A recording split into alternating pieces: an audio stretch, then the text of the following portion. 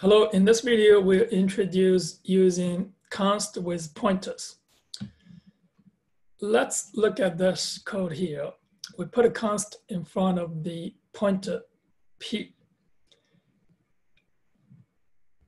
This means that p is now a constant. You cannot change the value in p. You cannot change the address. So this address is fixed. p only points to the radius variable.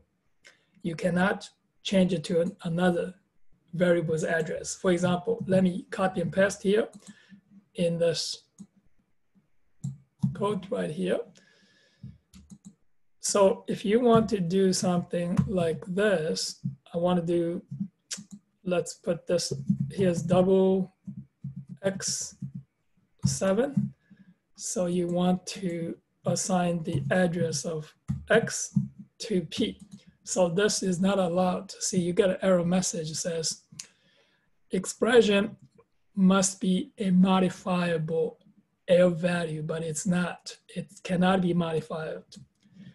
So you cannot, however, this would be fine. So if you want to change the content pointed by P indirectly, so you assign a new radius to the radius variable. Radius is pointed by p.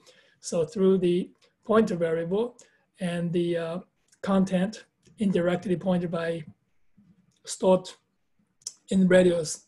So you can change radius to 10. You can write this statement and this is fine. Now, what happens if I want both to be const. I want the content, this content, you cannot change the content through this asterisk P.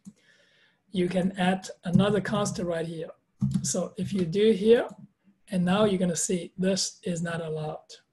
So here, look at the constant, where you put a constant is important.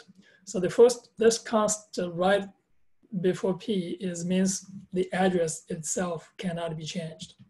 So this content here means the value indirectly referenced by P cannot be changed.